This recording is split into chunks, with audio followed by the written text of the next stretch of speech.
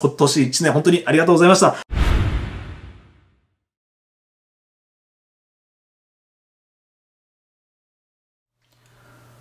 はい、お疲れ様です。12月30日、そして31日、本日のカープ KT です。今回もご視聴ありがとうございます。今回の動画は、はい、ということで、新入団選手含めた、えー、広島カープの2023年の投手編成を考えていきたいなという動画になっております。はい、ちょっと前にですね、えー、このような動画を出しました。はい。えー、カープの先発ローテーションが決まらない問題と、えー、そしてですね、え広島カープは75勝しますと、えー、いった動画の方を出しました。こちらはですね、新入団選手を、え含まない戦力として、え考えた動画になっておりますけども、やっぱりね、即戦力投手3人、え獲得したということで、こちらのね、3名の投手も含めて、え来季のね、カープの投手陣の編成はどうなっていくんだと、えいった、え内容をね、喋っていきたいなというふうに思います。そして、え動画のね、え最後では、えおまけコーナーとしまして、今日ね、え自分1日、えゴルフの方をやってきました。えそして高校校の大先輩でもあります赤星さんとね、えちょっとゴルフ1ラウンド、え一緒にしてきましたんで、えそちらのね、ちょっとお話もしたいなというふうに思いますんで、え最後までぜひ見ていってください。よろしくお願いいたします。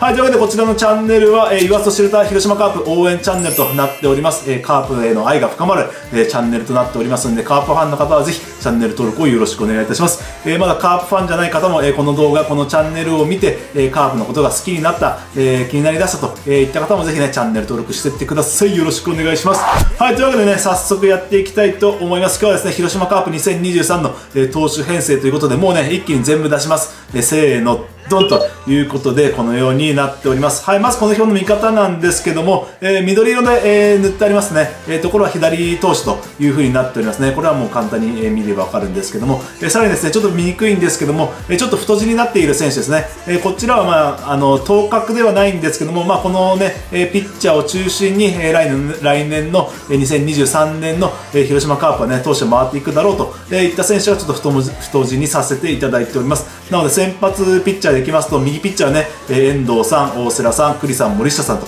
で左ピッチャーは床田さん、森さんといった選手が、ね、軸になっていきまして、まあ、リリーフ陣の方でいきますと、えー、もちろん栗林選手、松本投手、えー、そして森浦投手、矢崎投手と、えー、いった選手が、ね、軸になって回っていくのかなというふうに思っております。で、まあ、あのスペースがありましてね、下にいる選手が、あのちょっとね、これからの頑張り次第では、え食い込んでいくのかなというふうに思うんですけども、まあ、先発もですね、ここで、え2、4、6人ですね、え6人の、え候補はいるんですけども、やっぱりね、6人で1年間守り抜くというのは難しいんで、その下の、えピッチャーチャー見ていきたいと思います。まず大道投手ですね。まあ、昨日の動画、おとついの動画かな、のところでいきますと、ちょっとね、まあ、全てにおいて、えー、もう一回り成長しないと難しいよといったところで、えー、ありますけども、まあ、あの、先発候補であることは間違いないんでね、えー、ぜひね、その人、一回り、全体的な一回り成長してほしいなというふうに思います。で、岡田投手もね、えー、トミー・ジョン手術終わって1年休みました。はい。で、まあ、インスタとか見てますとね、力強い球をね、投げておりますんで、えー、ぜひね、先発で、まあ、中6日でね、回って1年間回していくのは難しいとは思うんですけども、まあ、あの、大瀬さんの休養だったり、えー、栗さんの休養だったり、もしくは、えー、床田さん、えー、森下さんのね、開幕ひょっとし間に合わなかったといったところではね、投げてほしいなというふうに思います。で、コルニエル投手に関しましては、あの、フェニックスでもね、いいピッチングしているというのもありますし、自分のね、ネクストブレイクで上げさせていただいておりますんで、えー、ぜひね、先発ローテーションを勝ち取ってほしいなという、えー、思いはあります。そして中村祐太選手もね、あの、キャンプであったり、あの、シーズン終盤かな、えー、2軍の方で球速がね、非常に上がったということで、150キロもね、えー、超えてくるような球が投げれるようになったということなので、ぜひ頑張ってほしいと思います。で、野村祐輔投手は今年2勝で、えー、とどまってしまっておりますけども、なんとかね、えー、まあ年齢も重なってきましたけども、えー、ぜひね、もう一回、えー、返り咲いてほしいなというふうに思います。そして山田投手もですね、まあ一時期はあの本当にね、最多勝率はったかな、タイトル取るだけの、えー、力ありまありましたし、今年はアジア大学の、えー、山崎康明選手なんかとね、えー、自主トレをしたということで、何か掴んで帰ってきてくれたらいいかなというふうに思います。で、その他、高橋光也投手もね、えー、こちらもトミー・ジョン手術かな、あ系で、えー、まあ、数年経っておりますけども、ぜひね、また来年、えー、左のね、若手ということで頑張ってほしいなというふうに思います。はい。で、玉村投手もですね、今年何試合か投げておりまして、まあ、立ち上がりのね、課題が何試合かあって、課題を残す、え、試合もあったんですけども、え、最後の最後でね、立ち上がりもしっかり克服したというのもありますんで、え独特な投げ方から、えしっかりね、バットを抑えるということで、えやってってほしいなというふうに思います。で、こちらのメンバーが、あの、先発としてね、えー、その6番、7番手、8番手というところでね、まあ、7、8と言いましてもね、絶対チャンスはあると思いますんで、え、ぜひチャンス掴んでほしいなというふうに思います。そしてですね、まあ、昨日の分析を含めていきますと、えー、増田さんと川野さんもですね、もちろん先発の、え、候補に入ってくると思います。えー、ただですね、まあ、いきなりね、あのー、先発で行くよというのは難しいと思いますんで、まあ、キャンプからオープン戦にかけて、え先発でのね、あのー、チャンスというのもあるかもしれないんですけども、まあ、そこでね、たとえダメだったとしても、えスタートは、えリリーフで、え開幕迎えまして、えそこからね、安定した成績残していけば、どっかでね、先発のチャンスはあるんじゃないかなとい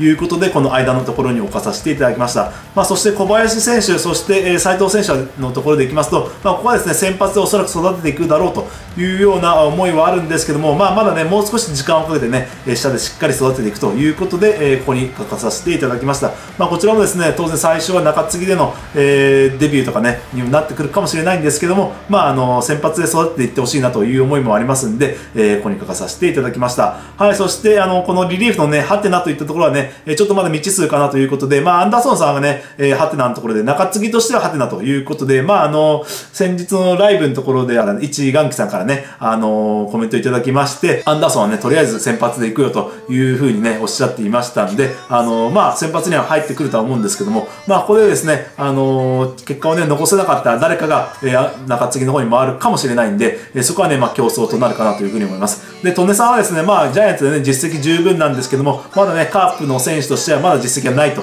いうことなので、一応、ハテナのところに入れさせていただきまして、えー、さらにもう一人ですね、長谷部さんのところでいきますと、まあ、こちらもね、ルーキーなんで、まだちょっと謎な部分が多いんで、えー、プロとしてね、どこまで通用するかというのは見届けていきたいなというふうに思います。そして、藤井さんですね、こちらもですね、あの、今年はまあ、ビハインドの場面での登板が多かったんですけども、まあ、非常にね、えー、大きいスケールを感じさせていただきましたんで、三角ではなく、はてな、これからね、成長著しい選手だと思いますんで、ここにさせていただきました。こちらもですね、えー、KT のネクストブレイクの、えー、期待する選手ということなので、来季ね、えー、注目して見ていきたいと思います。はい、そして三角のところですね、えー、まあ現状、あの、実績としてはね、一軍での実績はあるんですけども、まあなかなかね、丸はつかないかなというピッチャーをここに並べております。まあ、アドワさん、えー、市岡さん、黒原さん、ケムナさん、島内さん、タイさん、中崎さん、えー、堀江さんということで、まあね、もう少しし安定感が増せばね、この右側の列に、えー、食い込んでくる投手にはなっておりますけども、まあ、ここはですね、本当に競争かなというふうに思います。で、まあ、先ほどですね、アンダーソンさんのところでも言ったんですけども、先発がダメだったら中継ぎというのは、まあ、一昔前はね、えそういったパターンも多かったんですけども、まあ、今はね、本当に、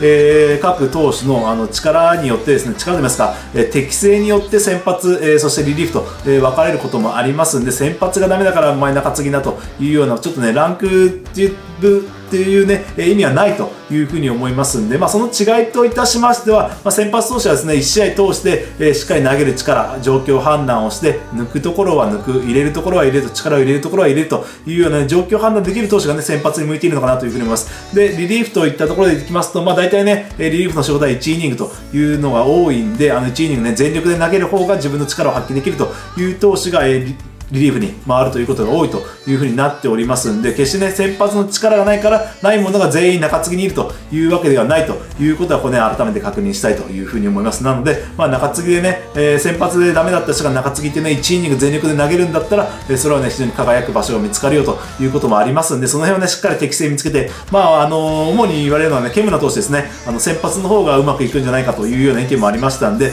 えー、まあ、一回ね、先発挑戦してみて、キャンプオープン戦試して、えー、まあ、ダメであればもう一回ね、中継ぎに戻ってくればいいと思いますし、えそのままね、本当に先発の方がいいじゃないかということがあればね、先発でさらにね、この6人に、えー、挑戦するというような方がいいのかなというふうに思っております。はい、というわけで、えー、私なりのね、えー、来年の投手、えー、編成はね、このように、えー、考えてみました。まあ、ここはね、当然流動的になりますし、えー、怪我などもありますし、調整等もありますんで、えー、動いていくとは思いますけども、まあ、このような形でね、あの、まあ、6人、えー、先発の子を決めさせていただいたんですけども、まあ、このね、6人に対して他のこの下の、えー、メンバーの誰かが上に入ってくることがね、えー、カープの戦力の底上げとなりますんで、ぜひ頑張ってほしいなというふうに思います。はい、というわけで、えー、ここはですね、投資編成の方は以上になりまして、今日ですね、えー、ゴルフやってきました。川瀬さんと1ラウンドを回ることができました。とても楽しい時間になりました。はい、ということで、このようにね、写真の方も撮らさせていただいて、えー、帽子ですね、こちら、えー、かぶって、えー、広島カープの帽子をかぶって赤星さんとね、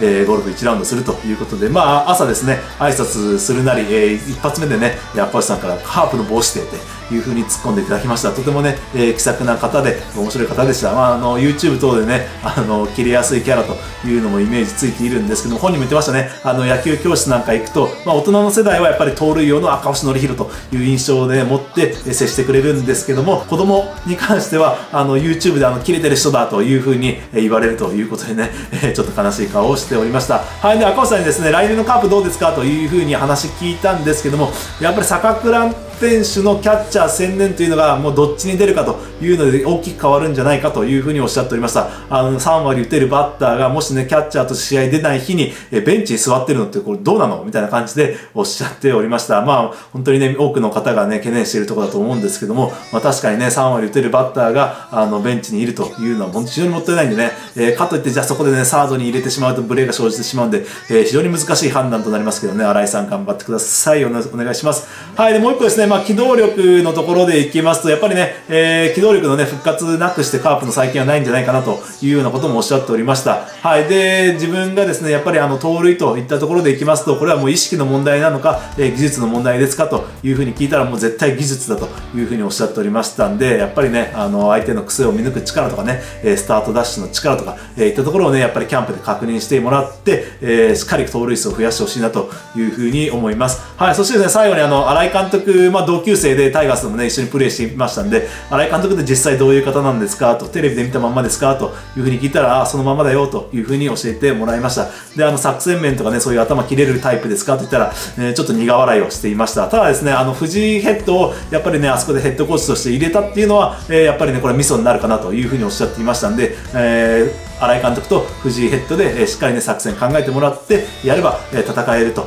いうふうにおっしゃっておりましたんで、ぜひ頑張ってほしいなというふうに思います。で、赤星さんでいきますと、まあ、ご自身のね、え、ラジオかなんかでも発言しておったんですけども、やっぱりね、上タイガース、スワローズ、えー、DNA が、え、やっぱり抜けて、え下にね、カープとドラゴンズとジャイアンツと、この差はね、くっきり分かれるんじゃないかなというふうにおっしゃっていましたんで、まあ、ここはね、しっかりね、カープの選手覆してほしいなというふうに思います。はい、という形でね、今日はもう本当に赤星さん、いろんな質問してね、えー、結構面白い話もあったんですけど、ちょっとね、えー、やっぱりここででは言いづらい内容のものがね、多かったんで、これぐらいにしたいというふうに思います。はい、というわけで今日はですね、もう今年最後のおそらくね、動画になると思います。明日ひょっとして12月31日大晦日意外とやることないやんけという形になりましたら、あの動画の方ね、作りたいと思いますけども、よっぽど31日のね、えー、この時間、えー、忙しくバタバタしているというふうに、えー、思いますんで、え今日でですね、2022年の、え最後の動画ということで、一回一旦、え締め切らさせていただきたいというふうに思います。今年1年本当にありがとうございました。